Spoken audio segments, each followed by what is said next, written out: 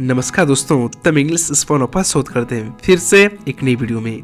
दोस्तों, इस वीडियो में सीखने वाला है हैंड जस्टर इमोजी का सही मतलब विथ इंग्लिश और पिक्चर के साथ। तो चलिए दोस्तों, आपका समय का ज़्यादा लेते हुए चलते हैं बोर्ड में और एक एक हैंड जस्टर को देखते हैं इमेज के साथ।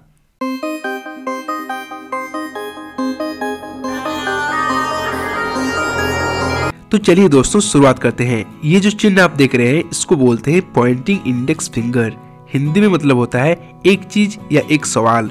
दोस्तों, जब हम लोग क्लास में बैठे रहते हैं, तब हम लोग इस तरह का सिग्नल देते हैं कि, सर, एक क्वेश्चन है, क्या एक क्वेश्चन पूछ सकते हैं? तब इसका हम यूज़ करते हैं। तो इस तरह के सिंबल को इंग्लिश में बोलते हैं pointing index finger. Next, fist hand या पंच।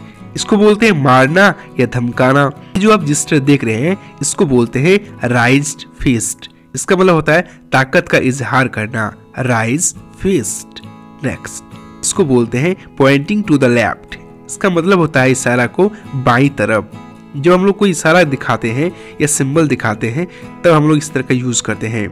इसको बोलते हैं raising both hand raising both hand खुशी दिखाना या गर्व होना, इसको बोलते हैं राइजिंग बोथ हैंड इसको बोलते हैं pointing the right pointing the right दाई तरफ़। तो दाई तरफ़ इशारा अगर करना है हैंड जिस्टर से तो pointing to the right pointing upwards ऊपर की तरफ़। दोस्तों, किसी को ऊपर की तरफ़ कुछ दिखाना होता है तो इस तरह का आप इस तरह का यूज़ करते हैं। पॉइंटिंग अपवर्ड्स का।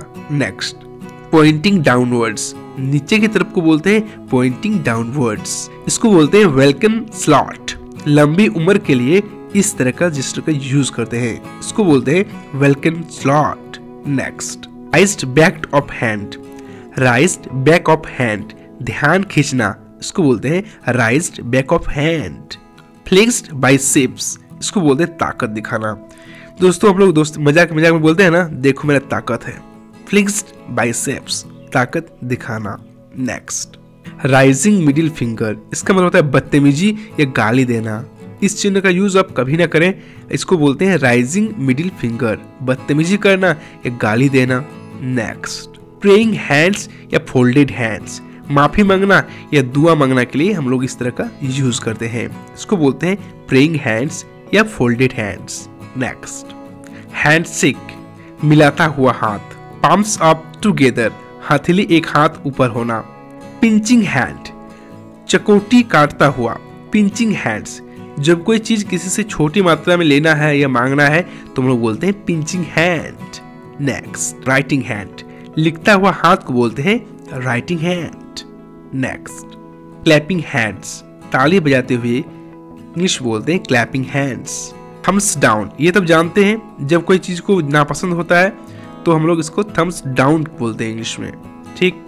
नेक्स्ट इसको बोलते हैं ओके हैंड ठीक है अच्छा है. जब ठीक है अच्छा है बोलते हैं तो इस तरह का रजिस्टर का यूज़ करते हैं. इसको बोलते हैं okay hand next crossed finger wish कामना या गुड लक के लिए इस तरह का सिग्नल दिया जाता है, इस तरह का जिस्टर का यूज़ किया जाता है, इसको बोलते हैं क्रॉस्ड फिंगर्स नेक्स्ट इसको बोलते हैं थम्सअप इसका मतलब है उठा हुआ अंगूठा या गुड लाइक वेविंग हैंड्स इसका मतलब हाई या हेलो करने के लिए इस तरह का जिस्टर का यूज़ करते हैं, इसको बोलते हैं वेविंग हैंड्स इस तरह का जिस्टर का मतलब होता है विक्ट्री हैंड्स विजयी हाथ. नेक्स्ट इसको बोलते हैं कॉल मी हैंड मुझे कॉल करें। तो फ़ोन करने के लिए आप इस तरह की इशारा करते हैं कि call me hand.